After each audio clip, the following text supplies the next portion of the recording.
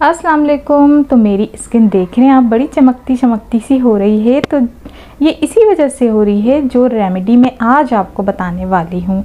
Summers चल रहे हैं इसलिए हमारी स्किन बहुत ज़्यादा ख़राब हो जाती है। पोर्स ओपन हो जाते हैं जिसकी वजह से बार बार ऑयल आता है। तो सबसे पहले हमने एक खीरा लेना है। तो, तो आलू ले लें छोटे हैं तो वरना एक आलू ले लें। तो खीरे को ब्लेंड कर लें थोड़ा सा बिल्कुल पानी डाल के उसको ब्लेंड करके उसको अच्छी तरह से हमने छान लेना है, पूरा जूस उसका निकाल लेना है। ठीक है? ये जैसे मैं निकाल रही हूँ और जो बाकी ये बच जाएगा ना, इसको भी हमने ज़ाया नहीं करना है, इसको हमने बॉडी स्क्रब के लिए यूज़ करना है। ठीक है? या फेस पे भी कर सकते हैं आप, कोई मसला नहीं होगा। इसमें थोड़ा सा आलू का जो एक मैं निकालूँगी वो और खीरे का, इसमें थोड़ा सा आप राइस फ्लावर डालिएगा बॉडी वॉश डालिएगा और ये बेहतरीन आपका स्क्रब तैयार है। तो आपकी स्किन बेहद ज़बरदस्त हो जाएगी। अब मैंने आलू भी ब्लेंड कर लिया है। थोड़ा सा पानी डालना ज़रूरी होता है या अरके गुलाब डाल लें आप। बिल्कुल ब्लेंडिंग के लिए, वरना बिल्कुल नहीं होगा। तो अब इसको मैंने ब्लेंड कर लिया था अच्छी तरीके से। इसको भी हम इसी तरह ड्रेन कर लेंगे। सारा इसका जूस जो इसकी सारी चीज़ें हैं, वो इसके अंदर आ जाएँगी। ठीक है?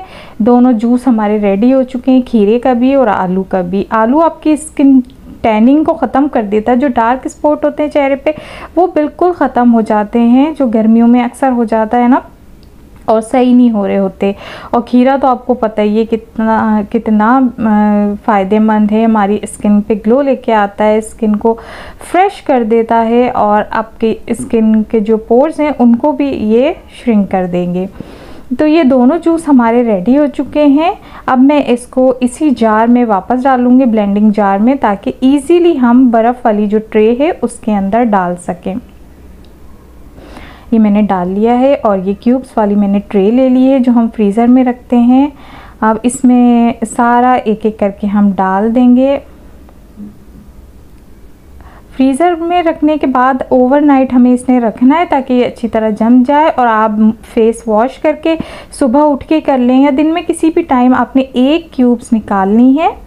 और उसको अच्छी तरह से अपने फेस पे रब करना है। अगर डायरेक्ट आपसे नहीं हो रहा है तो आप कोई भी मलमल का कपड़ा, दुपट्टा या टिश्यू लगा के फिर उससे स्किन पे रब कर सकते हैं। रब के इसको लगा लगा लें ताकि अच्छी तरह से इसका जो है पूरा ठंडा ठंडा चेहरे पे लग जाए। अब ये मैंने रख दिया है।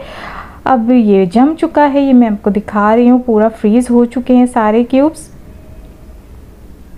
तो मेरी अगर मेरे चैनल पे नए हैं तो प्लीज़ सब्सक्राइब करिएगा और बेल आइकन के बटन को ज़रूर प्रेस किया करें ताकि नोटिफिकेशन आपको आ, मिल सके आसानी के साथ। ये देखें ज़बरदस्त क्यूब्स हमारे तैयार हो चुके हैं। ज़रूर फीडबैक दीजिएगा। मुझे बताइएगा कि आपको कैसी लगी मेरी रेमेडी यूज़ की। तो आपने आपकी स्किन पे क्या असर हुआ? दुआओं में मुझे बहुत याद रखिएगा। अपना बहुत ज़्यादा ख्याल रखिएगा। अल्लाह हाफिज़।